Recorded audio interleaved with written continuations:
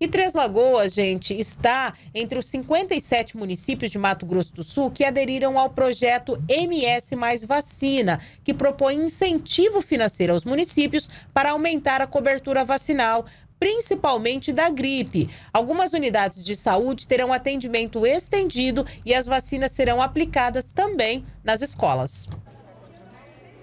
O índice de vacinação em Três Lagoas contra a gripe está abaixo do esperado desde o início da campanha de imunização, que começou em abril deste ano. A meta é imunizar 90% do público-alvo, mas até o momento apenas 66% desse percentual foi atingido. São quase 42 mil pessoas imunizadas, mas ainda falta alcançar 15 mil. Para isso, Três Lagoas aderiu ao programa MS Vacina Mais do governo do estado, que propõe um incentivo financeiro aos municípios que busca ações para ampliar o acesso à vacinação. A coordenadora do setor municipal de imunização, Humberta Zambuja, explica que os recursos serão recebidos em duas etapas. No primeiro momento, nós vamos estar recebendo, com a adesão à estratégia, nós vamos estar recebendo 50% desse recurso.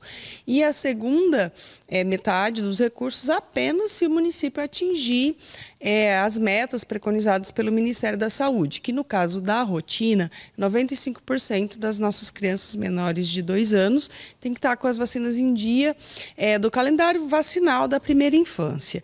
E 90% dos grupos que são contemplados para vacina contra a gripe. Então, a gente tem aí dois meses né, para estar. Tá, é, esse mês de julho, nós vamos estar traçando estratégias, buscando parcerias, orientando as equipes para implantar efetivamente as ações nos meses de agosto e setembro, que é quando, né, no mês seguinte, nós vamos estar em outubro apresentando os dados. Se o município cumpriu, a gente vai receber a segunda metade. Mas não é só uma questão de números, eu sempre falo, é manter a nossa população livre das doenças imunopreveníveis. De acordo com o setor de saúde, uma das estratégias para aumentar a cobertura vacinal contra o vírus H1N1 é ampliar o atendimento em mais quatro unidades de saúde de Três Lagoas. Na lista estão as unidades Nova Três Lagoas, Chácara Eldorado, Eurídice Chagas Cruz e Vila Alegre. Esses pontos de saúde terão atendimento até às seis e meia da tarde, a partir do mês de agosto. Três Lagoas vai receber o valor de 75 mil reais pelo programa do governo estadual, que será dividido em duas etapas. 15 unidades de saúde foram selecionadas pela Secretaria Municipal para receber o recurso e cada sala vai receber 5 mil reais. A equipe do setor de saúde vai retomar também a aplicação de vacinas contra gripe e Covid-19 na Feira Central de Três Lagoas. Esse tipo de ação ocorreu nos últimos dois meses, mas foi suspensa em julho. Agora, no mês de agosto, os servidores municipais estarão disponibilizando as doses para a população novamente.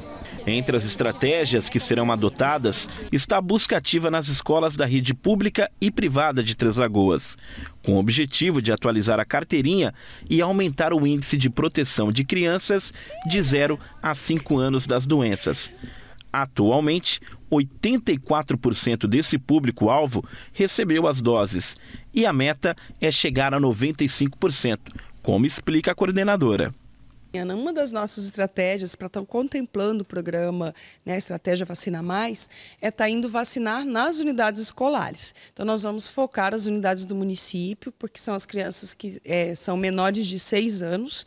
Então, já fizemos uma reunião com a Secretaria Municipal de Educação para que as equipes da Estratégia de Saúde da Família possam estar indo até as unidades escolares, entrar em contato com os diretores, traçando as estratégias. Então, já no começo do, do mês que vem, é, as unidades estarão entrando em contato e a gente vai pedir para que os pais encaminhem né, a carteirinha de vacinação juntamente com a autorização para, para que as crianças possam receber as vacinas que estão faltando na carteirinha dentro da própria unidade escolar.